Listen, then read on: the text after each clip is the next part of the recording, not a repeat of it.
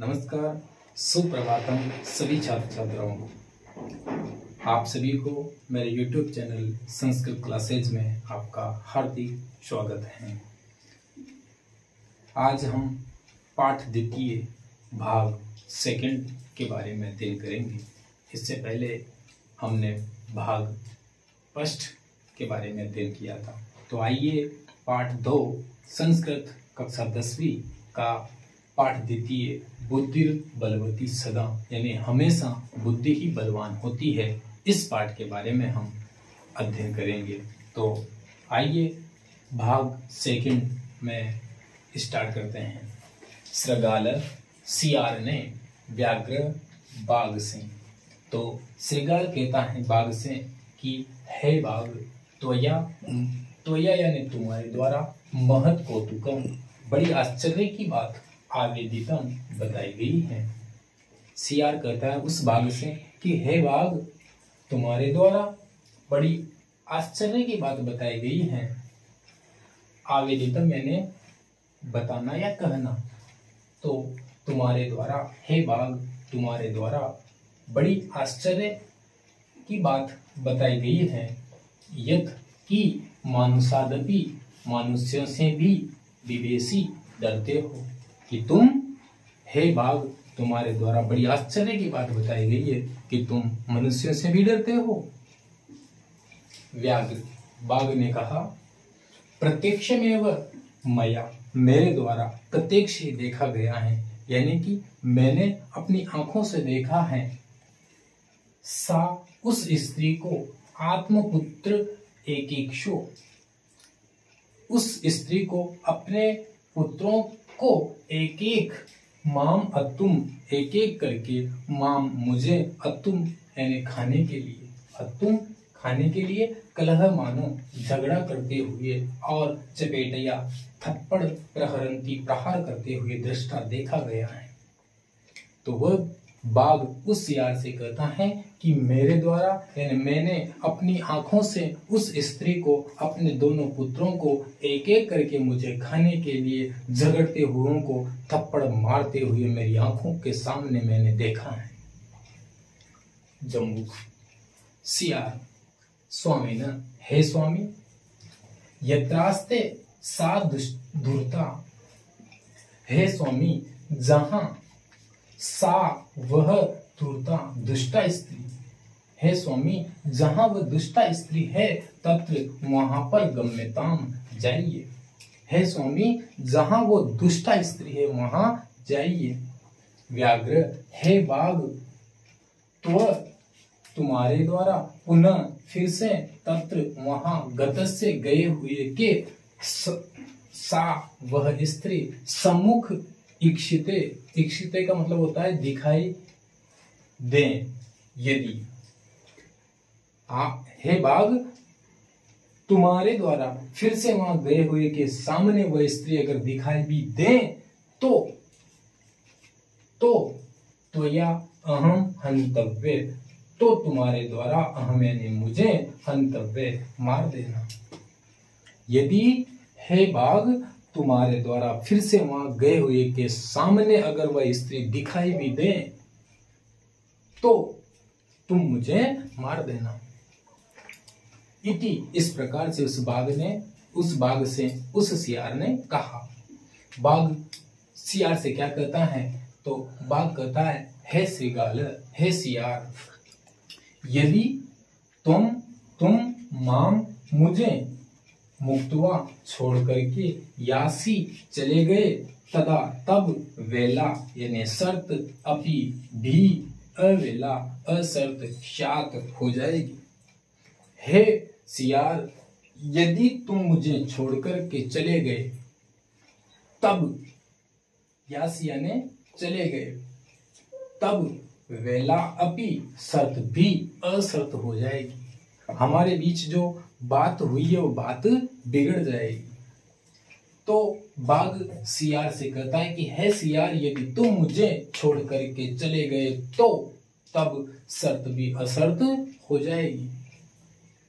जम्बुक सियार कहता है, यदि एवं इस प्रकार से यदि ऐसा है, त्रही तो माम मुझे निज गले, अपने गले में बदुआ बाँध करके चल सत्वरम शीघ्र। सत्वरम यानी शीघ्र।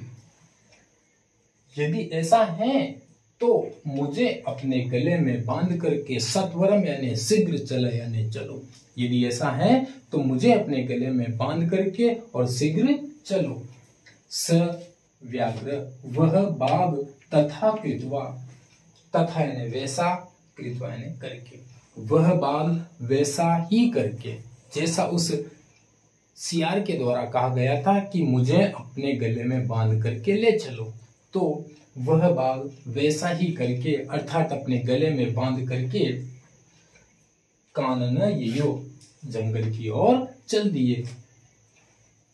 श्रृगालेन सियार के सहितम यानी साथ तो सहितम सह के योग में सृजाल में तृतीय विभक्ति तो सियार के साथ पुनर् यानी फिर से आयांतम आते हुए व्याग्रम बाघ को दूरात दूर से दृष्टवा देख करके बुद्धिमती बुद्धिमती चिंतितवती विचार की करती है।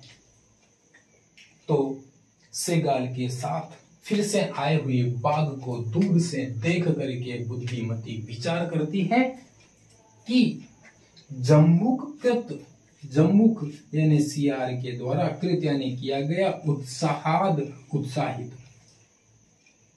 तो सियार के द्वारा की उत्साहित किया गया व्याघ्रात, यानी बाघ से कथम कैसे मुच्यताम यानी छुटकारा पाया जाए या फिर मुक्त हुआ जाए। तो श्रीगाल के साथ फिर से बाघ को आते हुए दूर से देख करके बुद्धिमती ने विचार किया कि सियार के द्वारा उत्साहित किया गया बाघ से किस प्रकार से मुक्त हुआ जाए, किस प्रकार से छुटकारा पाया जाए। परम परंतु प्रति प्रत्युत्पन्न मति प्रति प्लस उत्पन्न प्लस मति तो प्रति उत्पन्न मति यानी कि प्रति उत्पन्न मति का मतलब होता है जिसकी बुद्धि शीघ्र उत्पन्न हो जाए, जिसकी तो प्रति उत्पन्न मति यानी शीघ्र बुद्धि उत्पन्न होने वाली वह स्त्री जम्बुकम यानी सियार को आक्षेपयंती, आक्षेप करती हुई दुत्कारती हुई अंगुल्या अंगुली से तर्जयंती प्लस उवाच, तर्जयंती यानी डांटती हुई उवाच यानी बोली। परंतु परम परंतु शीघ्र उत्पन्न होने वाली बुद्धि वाली वह स्त्री सियार को आक्षेप करती हुई अंगुली से डांटती हुई बोली, रे रे, धूर्त, त्वया दत्तम मह्यम व्याघ्र त्रयम पुरा। रे रे, धूर्त, त्वया दत्तम मह्यम व्याघ्र त्रयम पुरा। विश्वास से अध्येक मानीय कथम यासी वदा अधुना। अर्थात, अरे धूर्त, अरे अरे धूर्त, अरे दुष्ट, तुम्हारे द्वारा। दत्त दिए गए मह्यम मुझे व्याघ्र त्रयम तीन बाघ पूरा पहले। अरे दुष्ट, तुम्हारे द्वारा मुझे पहले भी तीन बाघ लाकर के दिए गए थे। विश्वास से, विश्वास दिलाकर के, अध आज एकम आनीय एक ही लेकर के आए हो। कथम यासी, कैसे जा रहे हो? वद अधुना, बोलो अब। अरे दुष्ट, तुम्हारे द्वारा पहले भी मुझे तीन बाग ला करके दिए गए थे, और आज विश्वास दिला करके आज एक ही बाग ला करके कैसे जा रहे हो? बोलो अब बोलो कि तुम विश्वास दिला करके भी आज एक ही बाग लेकर के आए हो और कैसे जा रहे हो एक ही बाग ला करके इति उक्तवा, ऐसा कह करके धाविता दौड़ी तृण मैंने शीघ्र व्याघ्र मारी, बाघ को मारने वाली भयंकर यानी भयानक। तो वह भयानक बाघ मारने वाली, ऐसा कह करके शीघ्रता से उसकी ओर दौड़ी। व्याघ्रो अपी सहसा बाघ भी अचानक नष्ट यानी भाग गया। गल बदस्र गालक गले में बंदे सियार वाला वह बाग अचानक ही भाग गया। वापस देखेंगे इस श्लोक को। रे दुष्ट अरे दुष्ट तुम्हारे द्वारा पहले भी मुझे तीन बाघ ला करके दिए गए थे। और आज विश्वास दिला करके एक ही बाग ला करके कैसे जा रहे हो? बोलो अब। ऐसा कहकर के वह भयानक बाघ को मारने वाली स्त्री उसकी ओर दौड़ी। तृण मैंने शीघ्रता से उसकी ओर दौड़ी। तभी बाघ अचानक, यानी कि गले में बंधे, बंधा हुआ श्रृगाल वाला वह बाघ अचानक भाग गया। तो इस प्रकार से ये श्लोक यहाँ पर पूर्ण हो जाता है। तो फिर श्लोक के, ये श्लोक यहाँ पर पूर्ण हो जाता है। उसके बाद आता है कि एवं इस प्रकार से प्रकार यानी प्रकार से। तो इस प्रकार से बुद्धिमती यानी बुद्धि मती वह स्त्री व्याघ्रजात यानी बाघ के भयात यानी भय से पुनरति यानी फिर से मुक्ता अभवत मुक्त हो गई। इस प्रकार से वह बुद्धिमती स्त्री बाघ के भय से फिर से या फिर भी मुक्त हो गई। तो इस प्रकार से वह बुद्धिमती बाघ के भय से फिर से मुक्त हो गई।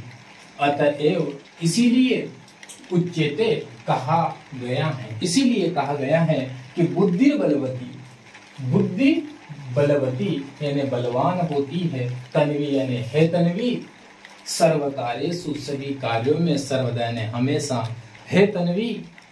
सभी कार्यों में हमेशा बुद्धि ही बलवान होती है। अर्थात बुद्धि सभी कार्यों में प्रधान बताई गई है कि बुद्धि ही सभी कार्यों में बलवान होती है। तो यह पाठ आपका पूर्ण हुआ।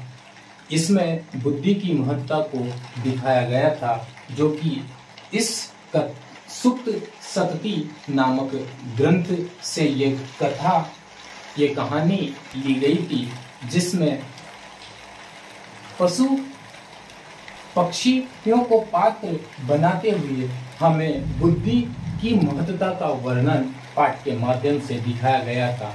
आप ये वीडियो आपको अच्छी लगी हो तो लाइक और कमेंट्स करें, शेयर करें, ताकि अधिक से अधिक बच्चों तक इसका फ़ायदा उन्हें मिल सके। सब्सक्राइब करें। इस प्रकार से बाकी धन्यवाद।